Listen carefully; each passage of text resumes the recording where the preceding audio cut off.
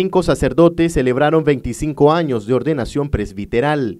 Uno de ellos es el padre Julio Arana, quien renovó su promesa de fidelidad a la Iglesia Católica.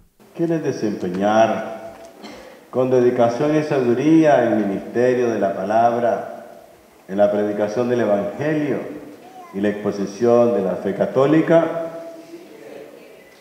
Quieren celebrar con piedad y fidelidad los misterios de Cristo especialmente el sacrificio de la Eucaristía y el sacramento de la reconciliación para alabanza de Dios y santificación del pueblo cristiano, según la tradición de la Iglesia, quieren implorar junto con nosotros la misericordia divina a favor del pueblo que se les ha confiado, cumpliendo así el mandato de orar continuamente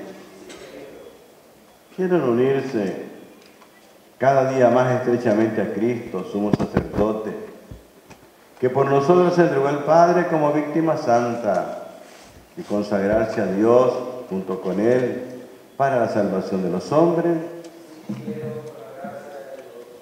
prometen obediencia y respeto a mí y a mis sucesores.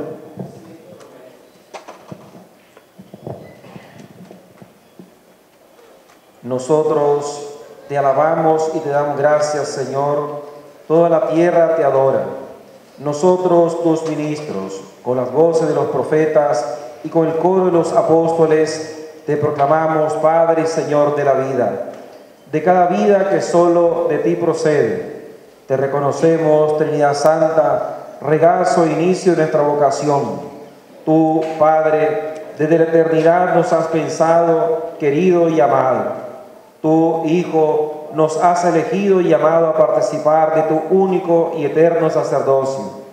Tú, Espíritu Santo, nos has colmado con tus dones y nos has consagrado con tu santa unción.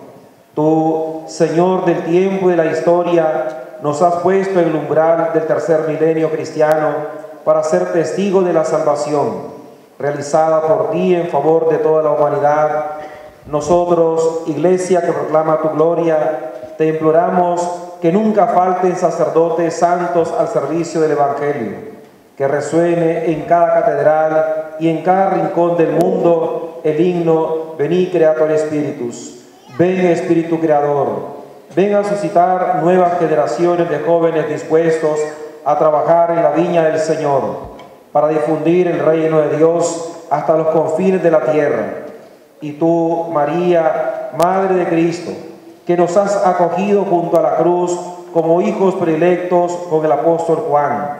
Sigue velando sobre nuestra vocación. Te confiamos los años de ministerio que la providencia nos conceda vivir aún. Permanece a nuestro lado para guiarnos por los caminos del mundo, al encuentro de los hombres y mujeres que tu Hijo ha redimido con su sangre Ayúdanos a cumplir hasta el final la voluntad de Jesús, nacido de ti para la salvación del hombre. Cristo, tú eres nuestra esperanza. Dios que comenzó en usted esta obra buena, que los acompañe y la lleve a término en nombre del Padre, del Hijo y del Espíritu Santo. Amén.